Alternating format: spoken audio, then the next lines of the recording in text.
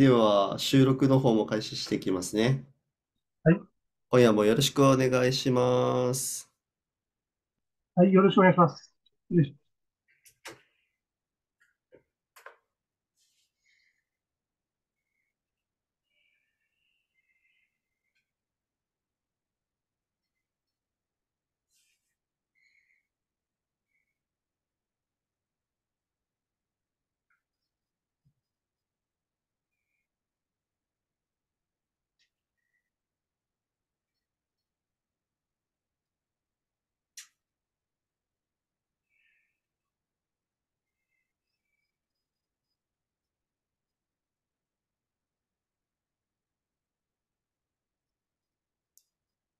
5、4、3、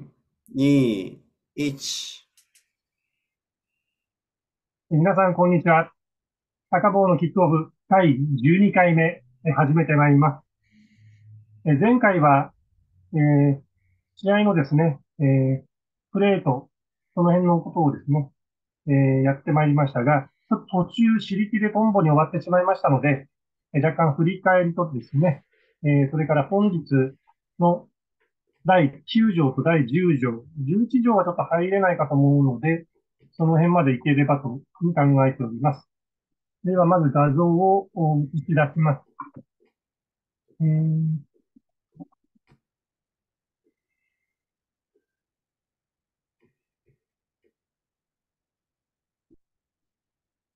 ちょっと画像を出しますが、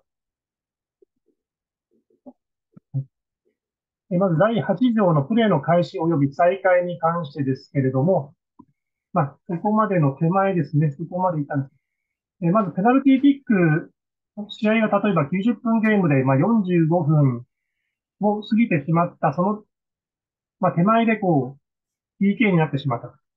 いった場合はですね、そこで試合を、まあ、終わらせるのではなくて、このペナルティーキックが完了するまで試合は延長されます。で、また、まあ、中止された場合、途中で例えば、まあ、雷とかですね、そういった、まあ、特殊な気象上の事情とかで、えー、中止になった場合、基本は、まあ、再試合になります。まあ、ただ、その、各大会規定によって、まあ、途中から、まあ、続きを行うのか、もしくは前半が終了して、後半が始まった段階で、そこまでの結果が有効になるのか、まあ、様々まあ、各規定によりますので、一応教育規則の中では、まあ、原則再試合ということになっています。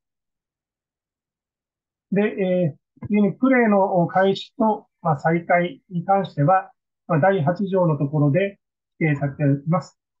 で、プレーの開始に関しては、キックオフという形で行われます。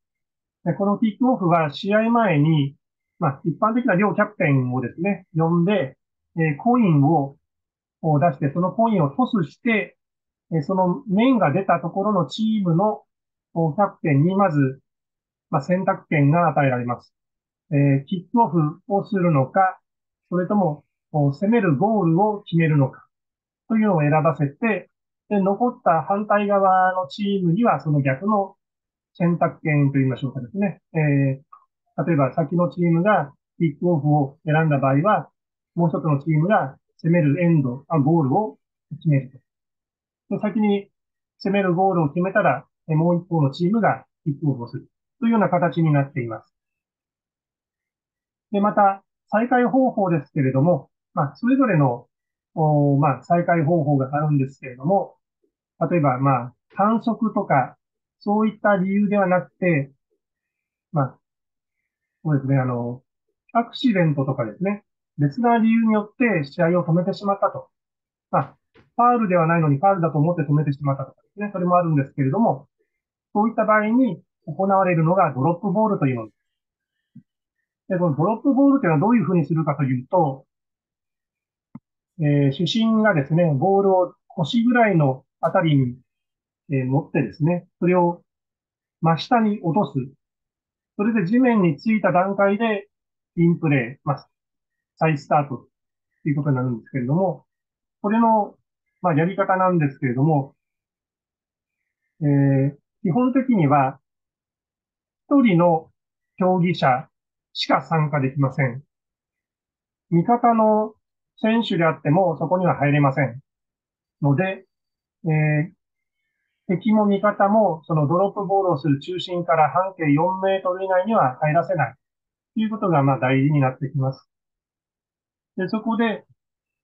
ドロップボールになるための、まあ、条件がありまして、条件というのかな？状況がありまして、まあ、3つあります。でそれは、ボールがですね、まあ、例えば主審に当たる、まあ、一般的な主審が多いんですけど、副審は、まあ、ラインの外に普段いますので、あんまり影響はないです。大体が主審にボールが当たった時の、その、不規則な変化で様々な状況が変わってしまったっていう場合なんですけれども、そのボールに当たったことによって、そのボールがこう、相手チームに渡ってしまったという場合、それと、えー、あとはまあ、同じチームではあっても、新しいまたその攻撃の展開になってしまったっていうような場合。で、もう一つは、例えば主審に当たってしまって、まあ、直接ゴールに入っちゃったとかですね。そういった場合になります。あとはまあ、それ外的要因、例えばまあそうですね。えー、観客がこう乱入してきたとかですね。動物が、えー、柵を乗り越えてというか入ってきてしまって、ボールに触れてしまったとか、まあ、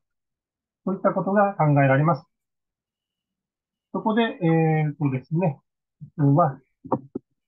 さっきの、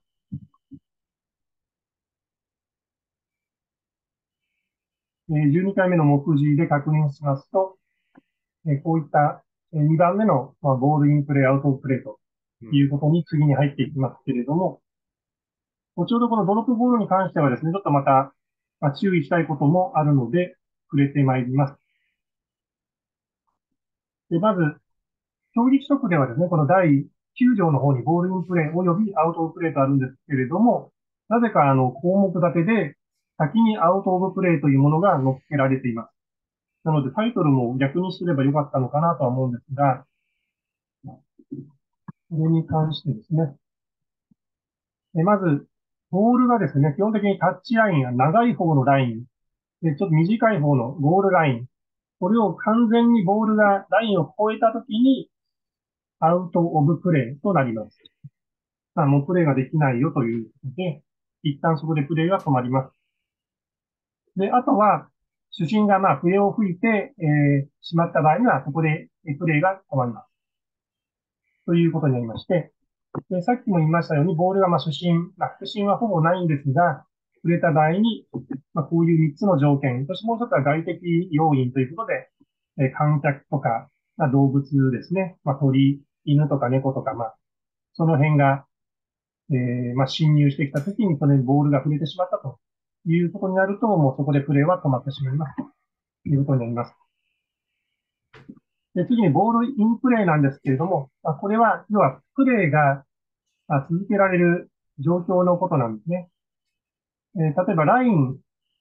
と言いますと、まあ、この前のワールドカップやりました。三笘の1ミリっていうんですかね。もう本当ギリギリ、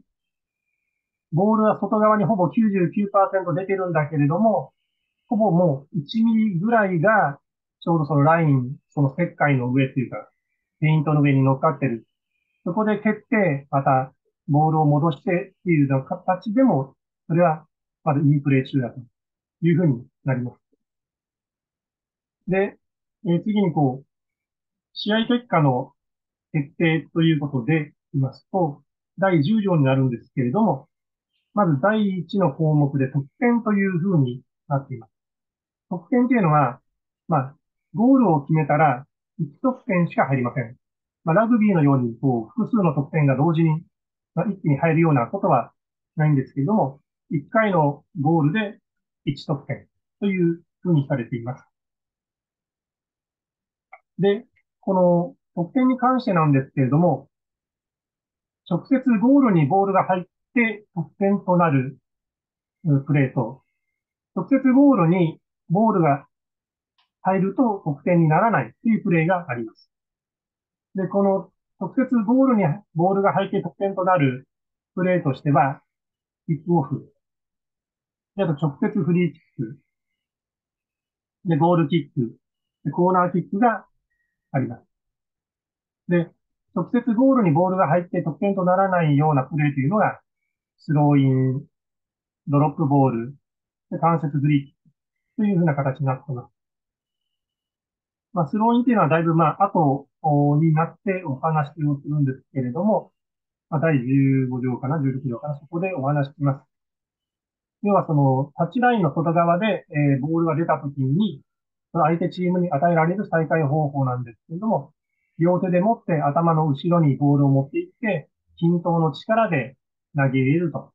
いうような再開方法です。で、関節フリーキックというのはですね、キッカー、キックする選手が、蹴ったボールが直接ゴールに入ったら得点にならない。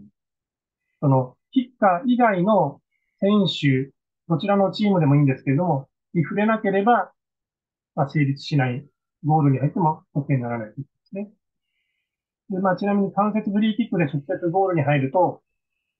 その相手チームのゴールキックで再開するということになります。で、次に項目として、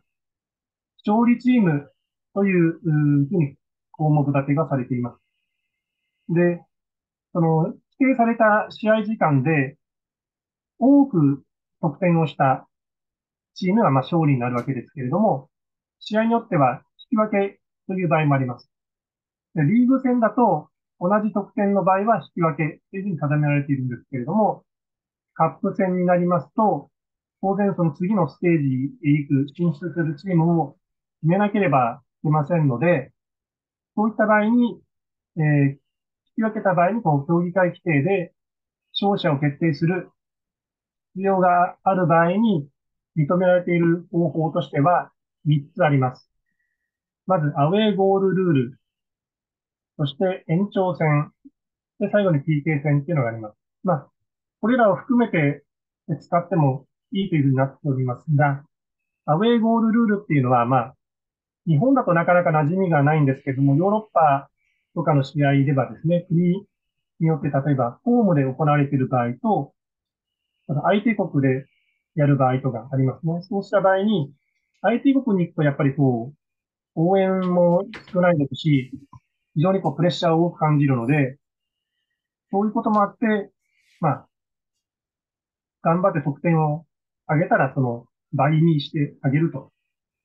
いうことで、例えば1対1であっても、アウェイになると2対1のような価値がある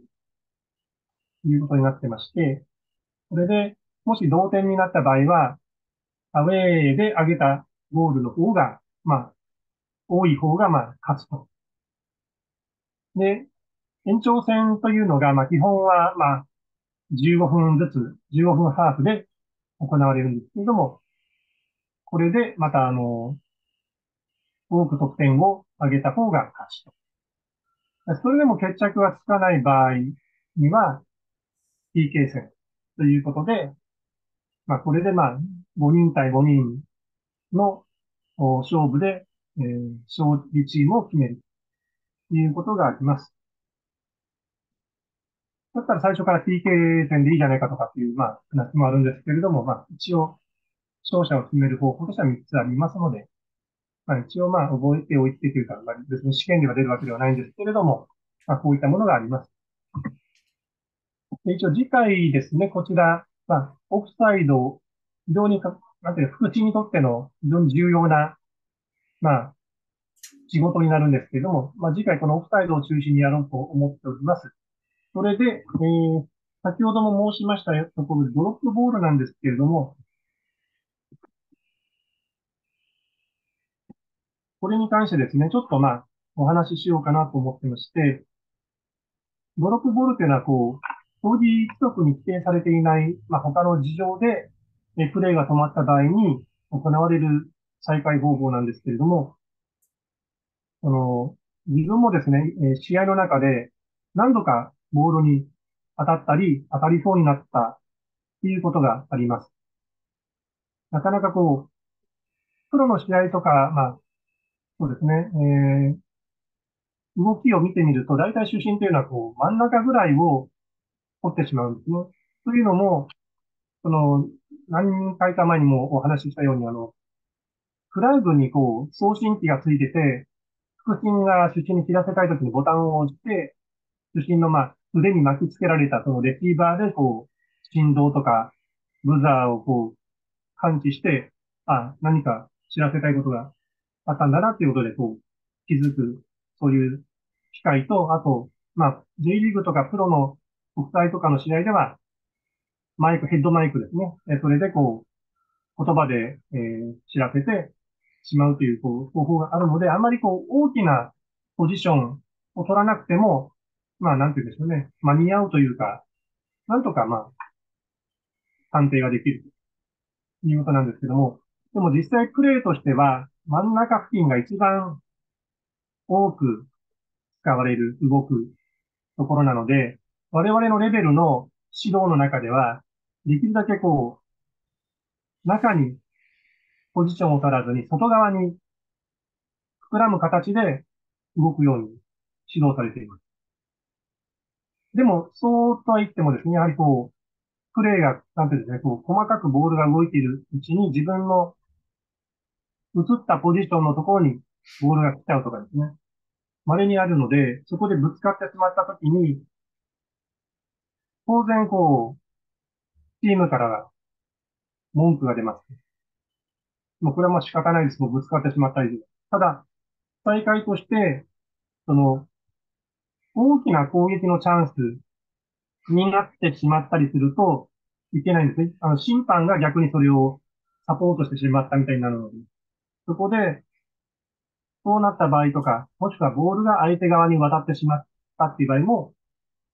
当然その審判がこう、なんていうかね、関与したことになっちゃうので、そこはぜひ、こう、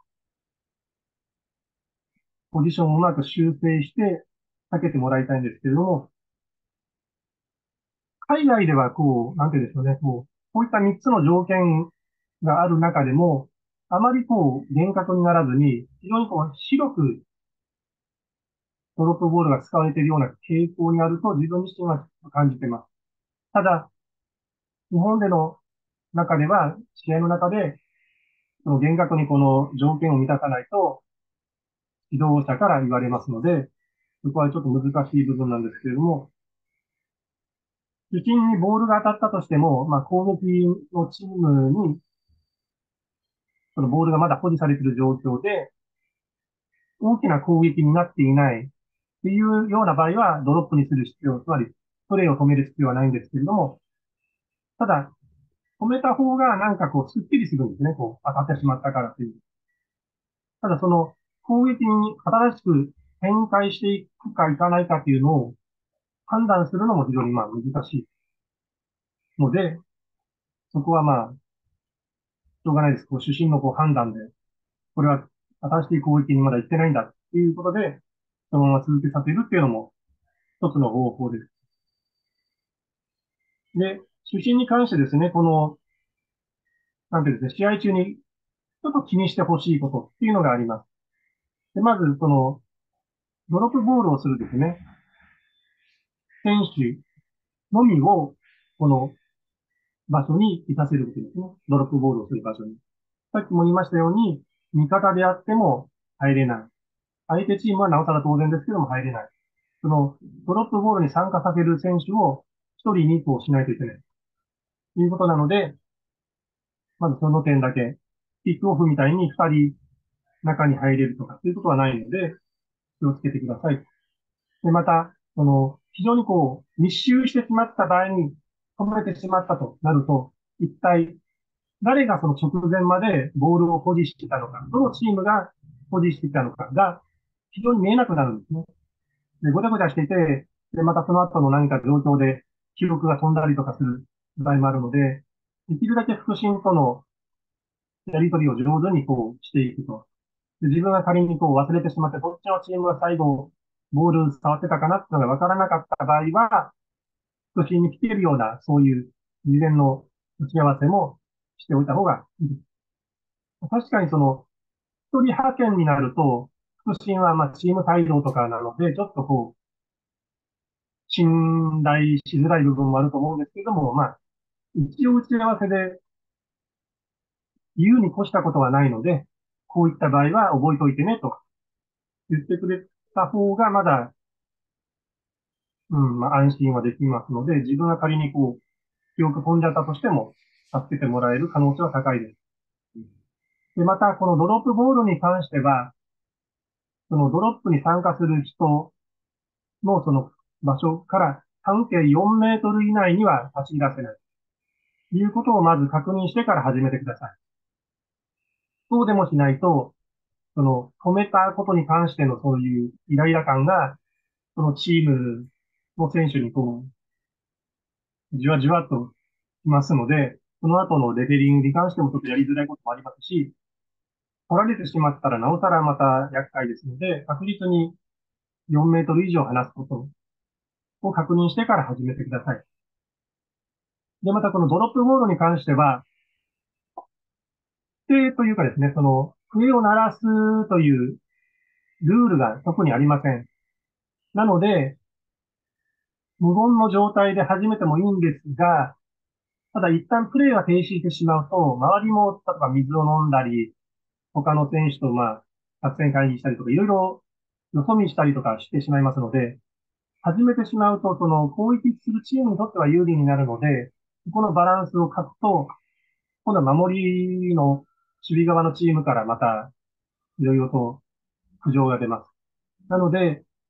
その一般的な、まあ、賢いやり方としては、大会する前に、始めるよと大きな声を出して、あと笛でこう注意を促す。それで、ドロップして始めるのが、非常にこう、優しいというか、攻撃するチームにも、守備をするチームにも、まあ、わかりやすいというふうになりますので、一応笛の使い方として一回こう、注意を聞いてこれからも大会するよっていうのをアピールしてからこう、始めた方が安全かなっていうふうに思ってるんですね。なので、その点を意識して、主審の方は、まあ、やっていただくといいのかなと、トラブルになりませんよ、ということでお願いします。で、さっきのインプレイに関して、昔は主審に当たっても、このドロップする必要はなかったんですそのままもう続けられる。で、今はさっきも言ったように、もうドロップボールになる可能性がある。あと、四隅に設置されているコーナーフラッグのポストがあるんですけれども、ここに当たって跳ね返ってきて、内側に戻ってきても、それもインプレーでもちろんゴールポスト、ゴールのバーに当たって戻っても当然インプレーというのがあります。なので、えー、副審も、まあ、主審もそうですけれども、あ、ボールがもう出ちゃうなーっていうような感じで、こう、だろうと思わずに、逆にこう、跳ね返ってくるだろうという気持ちを、こう、一応持って、そのボールの行方を追っていくと、心の準備ができるんじゃないかな、というふうに思っておりますので、それも忘れることなくやっていただきたいということであります。で、先ほどまた、PK 戦に関してもですけれども、これも14条のところと、あとまた試合が終わってからの PK 戦に関しても、まあ、後々ちょっと触れていきますので、一つまあ、違った点で言いますと、まずポイント数をするというのは、まず何を決めるかっていうのなんですけれども、どちらのゴールを使って PK 戦をするかということのために、まずポイント数をします。で、場所が決まったら、次にどっちが先に蹴るのか、後に蹴るのかを決めるポイント数。なので2回やります。そこで、その、センターサークル内に両チーム置いて、まあ PK をするわけですね。ところがまあ、ぐちゃぐちゃなグラウンドになってて、使えないよとか、様々な事情、カメラの事情、それでも、まあ場所が決まる場合がありますので、いろんなそのグラウンドの条件、大会の条件に準じてやっていただければと思っております。国立競技場だとですね、片方にあの移動式のカメラがあるので、そこが基本的には PT をする場合の場所になるので、